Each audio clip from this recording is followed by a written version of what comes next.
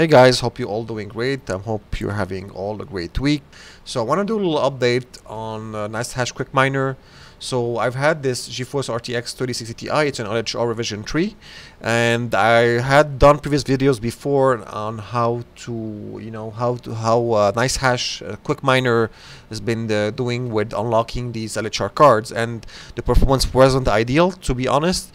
So I'm very happy to say now that I've been testing the the version 0.533 and I do want to say that this car has been now running for almost a month, a month and a half even with this version since it's been out and it's been going great. I'm getting 44 mega hash stable uh, temperature super uh, stable as well 56 57 for the VRAM and I'm putting on the high uh, performance profile on this. So do remember this is an LHR card and I'm doing I am mining with an unlocked hash rate not 100% but uh, same performance almost as the other miners like T-Rex and LOL miner.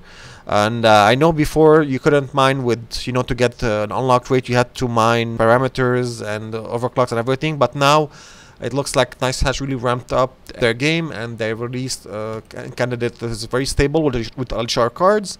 I'm using this uh, release on February 9, the 0.533, and in this you notice there's a 0.534 this candidate. So I'm mining currently with this candidate 0.534, and this comes with the stable release. And there's even a newer one now, which I'm testing. However, I'm currently st sticking with this one because this is stable, and I really wanted to test it out uh, to see if it's really worthwhile. As you can see here, they added support for LHR cards uh, to unlock them, and you have the auto tune parameters and overclock tune LHR manipulation.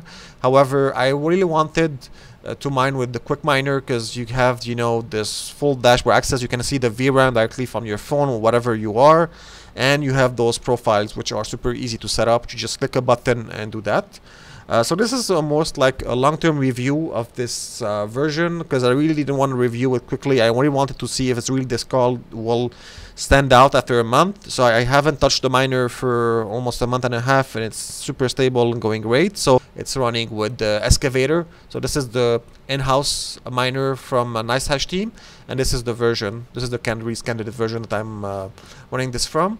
I do recommend it for you guys if you're, you know, uh, not sure about it. The NiceHash team did a great job with this version.